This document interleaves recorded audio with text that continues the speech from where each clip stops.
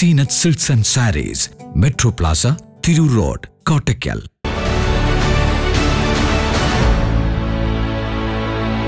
നമസ്കാരം. വട news on ടൈമിലേക്ക് സ്വാഗതം. കാഴ്ച സുരക്ഷിതമാക്കാം Tirur Rayhan കണാശുപത്രിയിലൂടെ Rayhan eye hospital and LASIK centre. ജില്ലാ കളരിപ്പയറ്റ് അസോസിയേഷന്റെ നേതൃത്വത്തിൽ രണ്ടു ദിവസമായി തിരൂരിൽ നടന്ന മുപ്പത്തിരണ്ടാമത് ജില്ലാ കളരിപ്പയറ്റ് ചാമ്പ്യൻഷിപ്പ് മത്സരങ്ങൾ ഞായറാഴ്ചയും സമാപിച്ചില്ല. ഞായറാഴ്ച കാലടി വല്ലപ്പെട്ട കളരി അക്കാദമിയിൽ മത്സരങ്ങൾ തുടരും. സമാപന സമ്മേളനം Kurukkoli Moideen M L A ഉദ്ഘാടനം നിർവഹിച്ചു.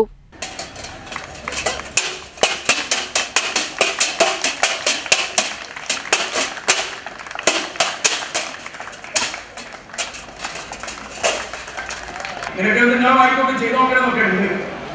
ചെറുപ്പം നിങ്ങളെ പോലെ അത് അനുവദിക്കുന്നില്ല അതിന് പ്രശ്നം ചെറുതായിട്ടുണ്ട് എന്ന് എനിക്കറിയാം. അതുകൊണ്ട് എങ്ങനെയായിരുന്നാലും നിങ്ങളെ ഈ വിഷയത്തിൽ നിങ്ങളെ വളരെ വളരെയേറെ പ്രോത്സാഹിപ്പിക്കേണ്ടതായിട്ടുണ്ട് അയോധന കലകളുടെ കൂട്ടത്തിലെ ഏറ്റവും പ്രധാനപ്പെട്ടതാണ് കലകൾ. മറ്റുള്ളതിനേക്കാളൊക്കെ കൂടുതൽ ദേഹാധ്വാനം വേണം മാത്രമല്ല നല്ല ശ്രദ്ധ വേണം. അതിനുപരി ഏറെ പരിശീലനങ്ങൾ വേണം.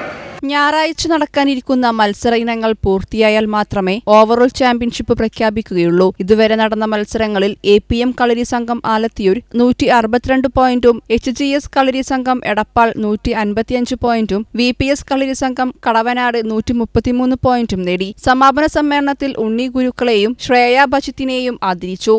വെട്ടം ന്യൂസ് തിരൂർ.